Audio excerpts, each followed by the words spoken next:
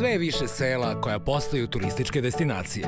Mnogima je zato teško da odaberu gde da provedu odmor. Zato smo mi tu da vam pomognemo. Emisija Lepša od Pariza otkriće vam koja selska domaćinstva da posetite ako želite da iskusite pravi život našeg seljaka, opustite se u prirodi i uživate u dobroj hrani. Prikazat ćemo vam gde možete otići ako vas zanima aktivan odmor, a gde ako želite više da saznate o bogatoj istoriji i kulturi naših krajeva. Dobrodošli u Lepše od Pariza, emisiju posvećenu seoskom turizmu.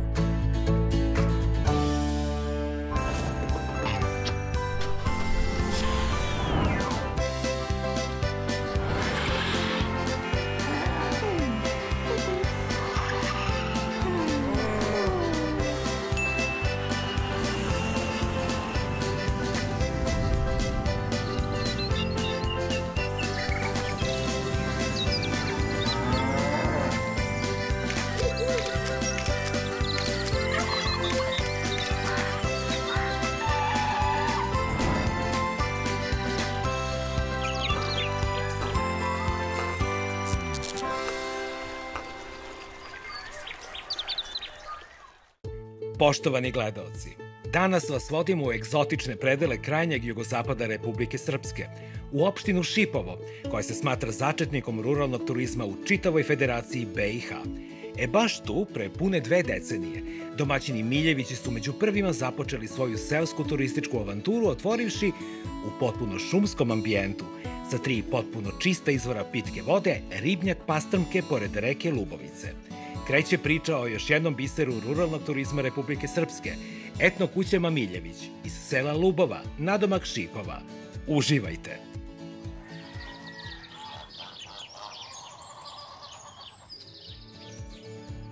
Ukoliko dolazite iz Beograda do etno kuća Miljević, koristite autoput S70 u smeru ka Šidu, sve do isključenja za Kuzmin i dalje pravac ka graničnom prelazu sa Federacijom BiH Sremska Rača – Dalje nastavite označenim putem ka Banja Luci, preko Bijeljine, Modriče, Doboja i Prnjavora, a u glavnom gradu Republike Srpske pratite smer uz reku Vrbas ka Mrkonjić gradu, a potom ka Šipovu.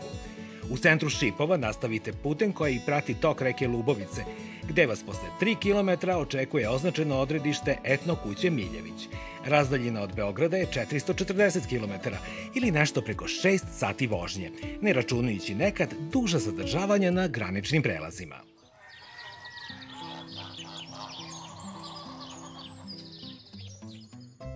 Danas uživamo sa domaćinima Miljevićima u etno kućama u selu Lubovo. Domaćini, dobar dan. Dobar dan i dobro nam došli. Bolje vas našli. Pero, vidim da ste u poslu, ali zamolit ću vas da predstavite svoju lepšu polovinu. Kažu, samo neka bude kako žena kaže i u, u domaćinstvu nema problema. to je ključ mira. Da, treba biti malo mudar, što kaže. Evo ovako, dobro nam došli ljudi živi zdravi da se kući vratite kod nas, da se fino provedete. Običaj je kod nas da se popije kava i rakija domaćinski, da se goste dočekaju. A, ovaj, ja bi sada svoju sreću nazdravio. Živati mi, kad ti još ostalim gostima. Kako mi ja stalno dođem na. Takav je ovde običaj običaj, ali uvijek meni zdravi svaki. Ljubi bližnjeg svoga, stalno se kaže, da. I fino da se provedete ovdje kod nas i da dovedete još više društva. Živjeli. Živjeli. Ajde do malog prsta, žena. Sipajte, Erdan. Ne, ja šta, šta, evo, izvolite, probajte i vi. To je vaša rakija. To je moja rakija. Kad se popije dvi, priča se tri jezika. Pet, jedanest jezika se priča. Pošto dolazi iz 11 država ljudi, onda mora znati 11 jezika da bi se sa njim sporazumijevo. A preko rakije sve se sazna i sve se dogovori i, i, i sve se realizuje. I sve bude lepo. I sve lepo bude, da. Da bude tako i nama. Živjeli, živjeli. A imamo i tablu dobrodošlice da znaju svi da smo tu. Dragi gosti, dobro nam došli etno kuće Miljević ljepše od Pariza. Hvala vam od srca.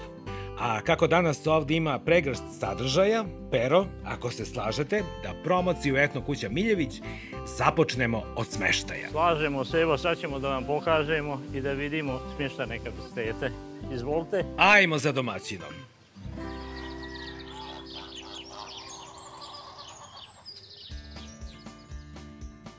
Domaćine, smeštaj za goste je u Brvnarama autentičnim za ovaj kraj.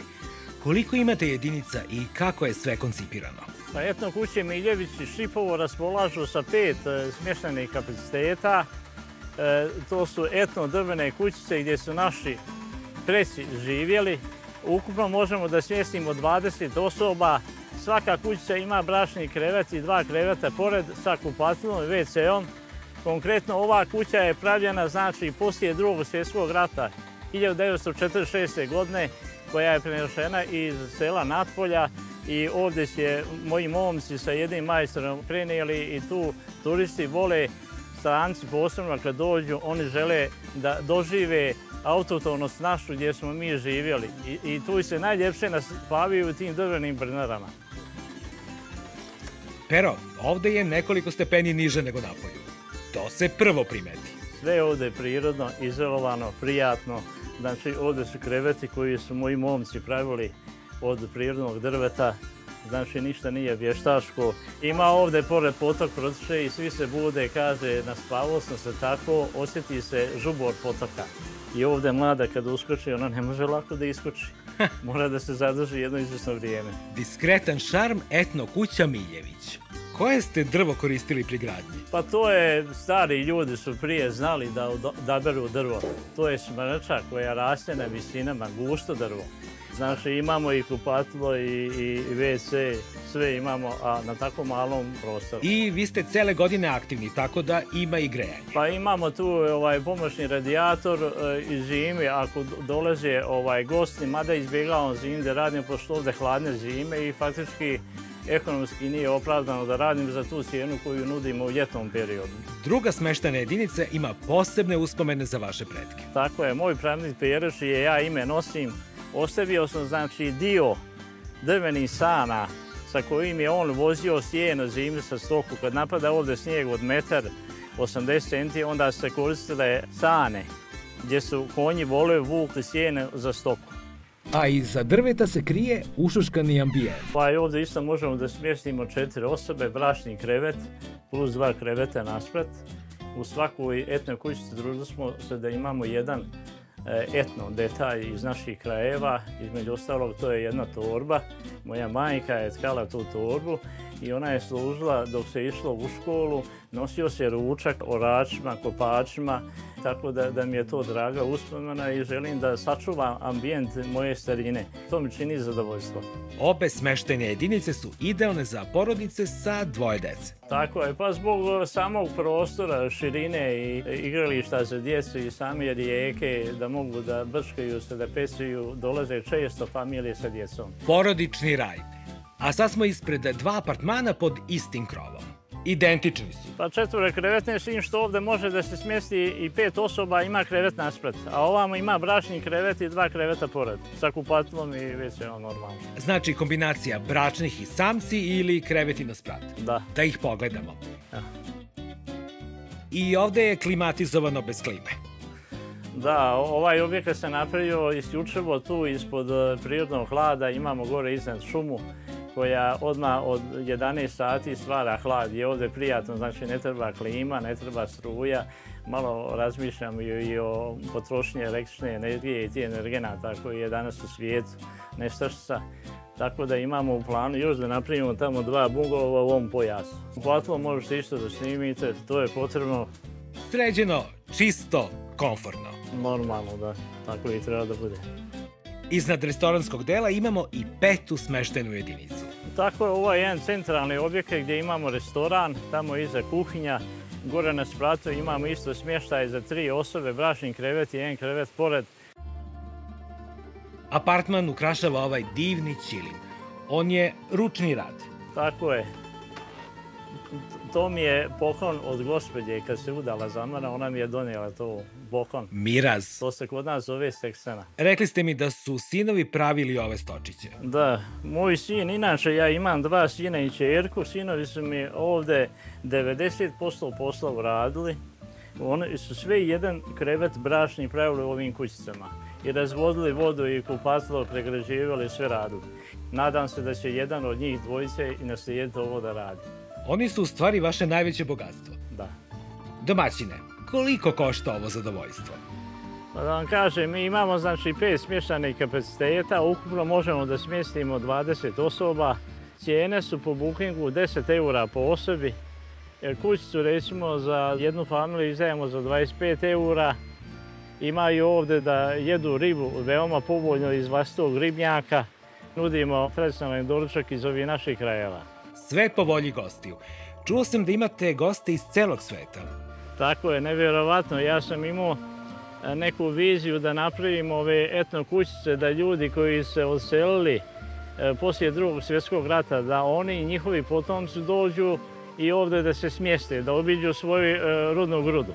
Međutim, nisam imao predstavu, zahvaljujući ovim društvenim mrežama, dolaze ljudi iz preko deset država. Francuzi, Česi, Poljaci, Španci, Englezi, Rusi, Ukrajinci, iz Hrvatske, iz Srbije naravno. Iz svih krajeva dolaze ljudi. I svi su dobro došli, svi su dobro došli.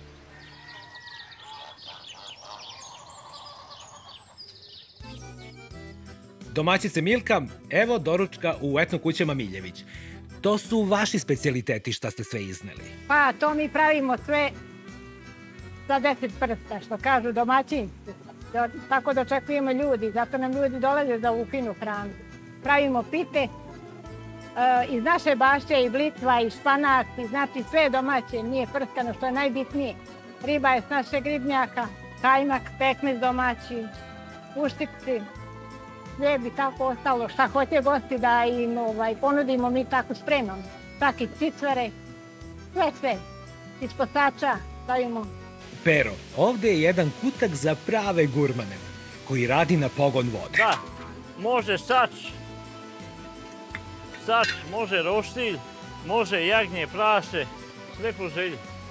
Ljudi dođu, najave se da li da im ja ispečem, da li da one peku, družimo se, ovaj, živimo taj jedan život koji nam je Bog dao što ljepše, u zadovoljstvu i raspoloženju kako možemo. Da. A u nastavku na reci Lubovici, stara vodenica koja je nekad ovde bila izvor života.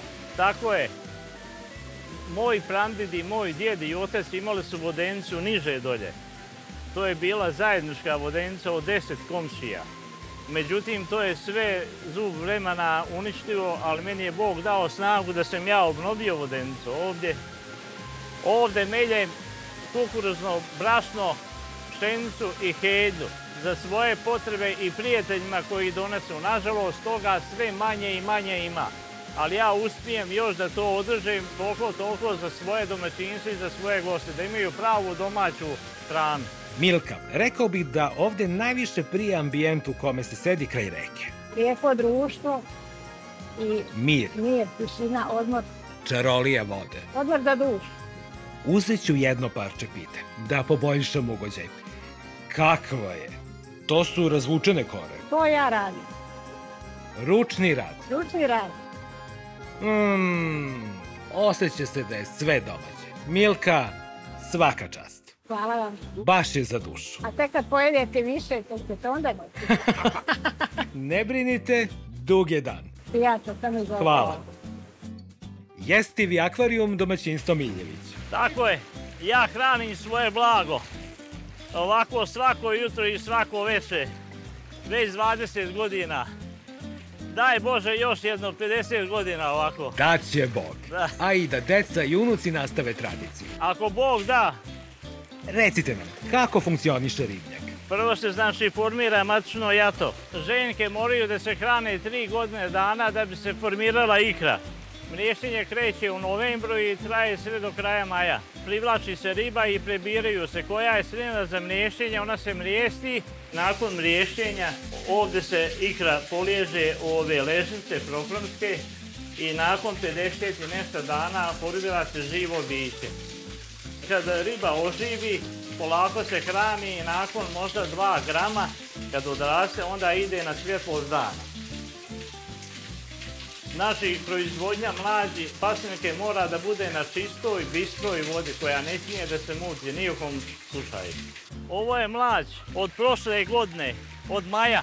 Da vidimo kako izgledaju ribe. Nju spremam za nikodanski post ako Bog da. Ovdje je krupnija, ovdje je oko 10 do 15 kg. Znači ovdje se vrši proizvodnja pastinke od početka do konzumacije. Ceo Ceo krug, da. Kolikim kapacitetom proizvedene pastamke na godišnjem nivou raspolažete? Pa, na godišnjem nivou nekih 8 do 10 tona. Da. Mladi gospodin, unuk je došao da pomogne u predstavljanju restoranskog dela. Interijer mi se baš dopada. Sve je od prirodnih materijala, ušuškano i domaćinski. Kako je osmišljen sam restoran? Pa restoran može da primi i prihvati tri, oko 30 gosta, sve je u etnom stilu. Namirnice su sa ovih prostora. Da, i mi želimo i da ponudimo gostima baš naše proizvode domaće. Jer to ima i poseban ukus. A posebno domaću rakiju, šljivovicu i medovač. Pošto imamo svoj voćnjak, imamo kazan, mandarić iz Novog Sada, tako da ovaj, svake godine stajamo rakiju i imamo u, u dovoljnim količinama. I za sebe i za goste.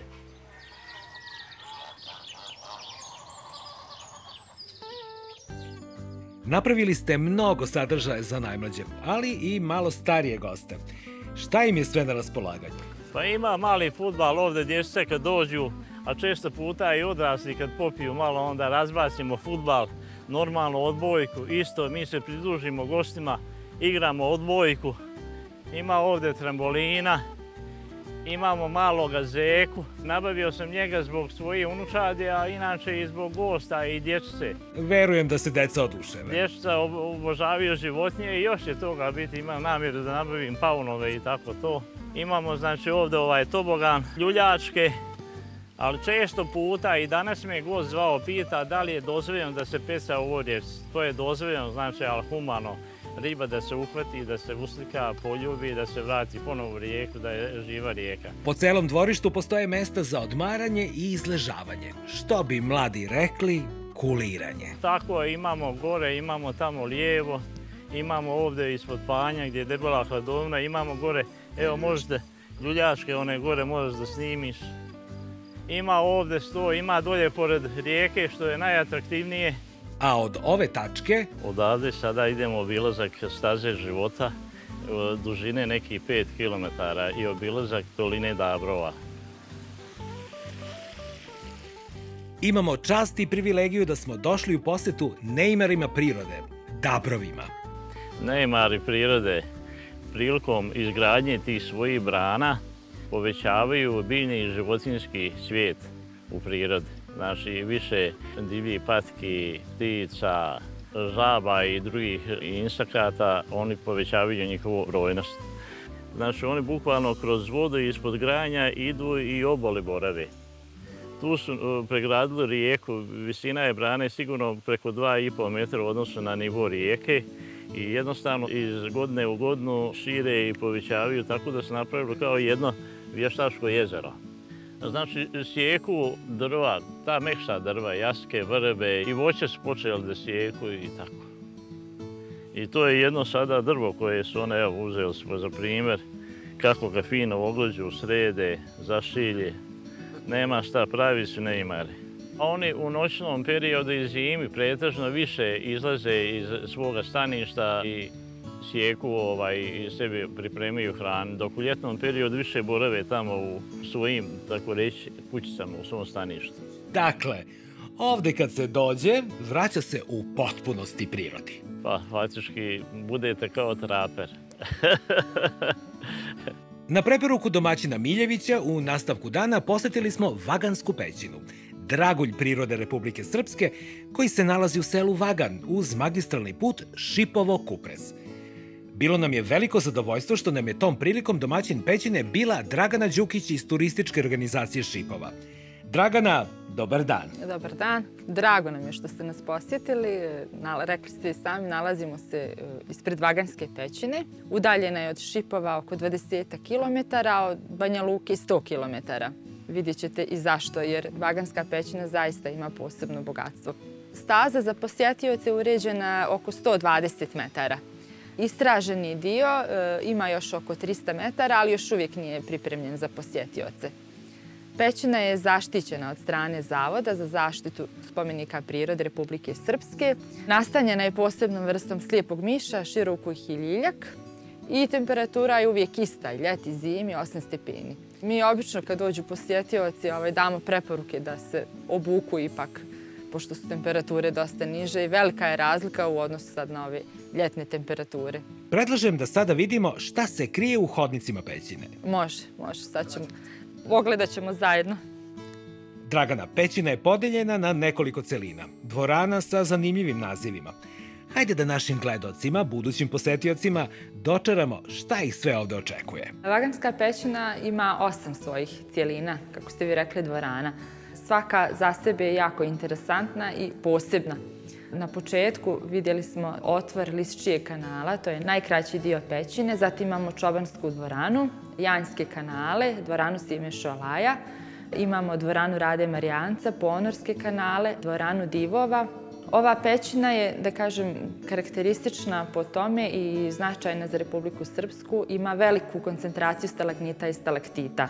Dosta legendi ima o Vaganskoj pećini. Najviše legendi u Čobanskoj dvorani su nastale. Jedna legenda kaže da se vatra ložila na ulazu, znači u Čobanskoj dvorani, a da je dim izlazio u pravcu Kupresa što ukazuje na činjenicu da postoji otvor ove pećine negdje u pravcu Kupresa. Na kraju svečane dvorane je teren za speleologe. Jeste, negdje oko 300 metara postoji, da kažem, istraženi prostor, ali još uvijek nije turistički spreman za posjete, ali po projektu i po pričama ljudi koji su posjećivali, odnosno speleologa, da je dosta interesantan taj prostor. Po povratku iz Pećine napravili smo pauzu na najpoznatijem turističkom izletištu opštine Šipovo, Janjskim otocima. Pored čudesnog mira, bogatstva zelenila i šume, ovaj prostor najviše krasi veliki broj slapova, potoka i vodopada, koje je formirala reka Janj. Priroda ovde ima neku posebnu dušu koja se ne da opisati rečima.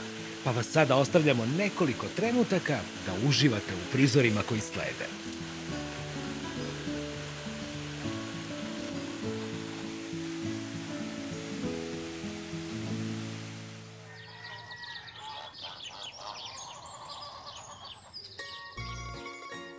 Domaćinstvo Miljević ima tradiciju postojanja 20 godina.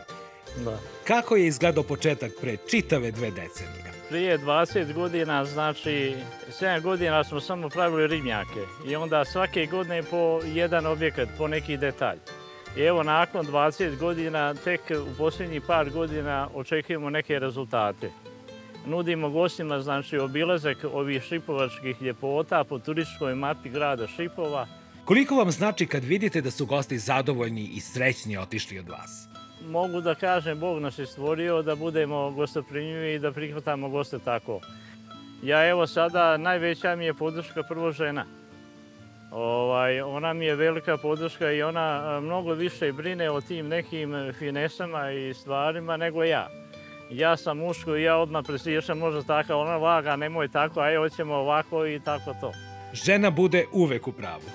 Ona bude u pravu često, ali tek na kraju. Aha, razumem.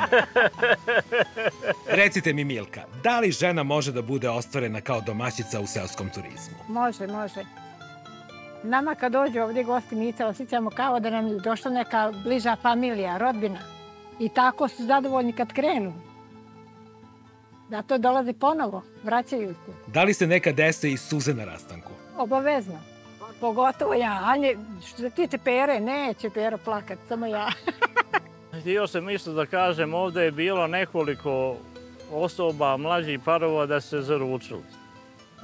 I padale su suze radosnice od moje Milke i od tih sami koji se vjerili i tako to. I, I što nam je zadovoljstvo. Svakako fine stvari se ovde dešavaju. I daj Bože da tako i ostane. I da što više bude. I da što da, više bude, upravo tako baš. Pili smo dolje u ribnjaku, izabrali smo pasterom, gočistili, uvaljali u kukuruzno i bijelo brašno i osolili. I sada smo je stavili u vrelo ulje i pržimo je za goste. Koju ste meni namenili? E pa znaš šta, vi, vidi, pošto si ti dobar čovjek, veliki čovjek, zatežit ćemo ovu najveću, znaš, u porciju staviti. Ako voliš pastrnku. Ma kakvi, pastrnka mi je omilj. Nema, brate, ovdje 99% ljudi dođe na pastrnku. Ne trebaju ćevapi, ne treba koljenice, ovo, ono, znači, pastrnka iz čiste, bistre lubovice. Najpoznatija pastrnka u čitavom regionu. Domaćini Miljevići, nije ni čudo što imate goste iz celog sveta. Ovakav gušt nema nigde na planeti. Nemate opširan jelovnik, ali sve na meniju je besprekornog ukusa. Jeste, baš tako. Mi, mi pravimo što je najjednostavnije i što nam je na dohvat ruke. Svježa pastrnka znači najukusnija kad se izvedi iz ribnjaka i automatski se prži. Znači, što kaže, još kad se e, na tanjirači vrti, ona je najukusnija. A priroda vam je dala ovu vodu i svo bogatstvo oko nas. Šta bolje od toga? Hvala Bogu, samo se trebamo boriti da se ne zagadi i da se očuva. Jer novac nije ništa ako sami sebe trujemo. Ozbiljna je privilegija probati Miljevića pastrmku.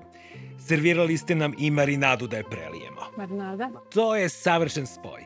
prijatno. Prijatno, gospođe, i tebi. Prijetno i vama. Gledam pero kako vi čistite od kostiju. E, vidiš, ovako se polako očisti. Znači, riba kad se prži ne treba ni da se prepeče, ni da, ni da se ne dopeče. Da bi se lakše očistila. Znači, jednostavno se ovako čisti. Evo, pogledajte, znači, sve kosti su ostranjene. Da vidim da li sam pazio na času sečenja koji ste održali. Ovako po sredini, da li sam dobar? Za početnika položio sam. Vrlo dobro 3+. Plus. Pravit ćemo se da jesam. Da, da, da, da. Na oko se vidi da je reč o specijalitetu. Bravo, bravo, bravo, bravo, bravo. Da, eto, vidiš. Da je u pitanju svježe, znači, Sveža da ne može biti svežija. bista, čista voda. Da vide gledoci kako izgleda. Lepo je videti ovakvu romantiku u ovom ambijentu. Živeli za vašu ljubav. A nije, nije zabilježio, jel da? Pero, Živjeli. Izvini, nek zabilježiš sad. Aj, aj, još jedno. Aj. Moram da nahranim ženu, ja sam pažljiv. U to ime živjeli. Hvala vam ljudi, živjeli. Da, da vam sva, svata postoje, jel? Živjeli. Poželjni se, veseli se ako Bog. Ima u ekipi i ko. Došao je trenutak da probam pastrmku. Imam i malu tremu. Bez komentara sam. Ovo je neprepričljivo. šta reći? Bravo domaćini. Jeo sam razne rečne specijalitete, ali ovo nisam. Topi se ustima koliko je slatka. Ne znam da li je desert. Hvala, hvala. Za uspeh domaćina. Živjeli ti ljubav moja. Živjeli. Domaćini Miljevići, hvala vam što ste nas ugostili. Uživali smo. I hvala vam što čuvate nasleđe, prirodu i tradiciju. Zahvaljujući vama postajemo svesni koliko je naš narod bogat. Želim vam da istrajete u svemu ovom što radite. Hoćemo nego šta ćemo.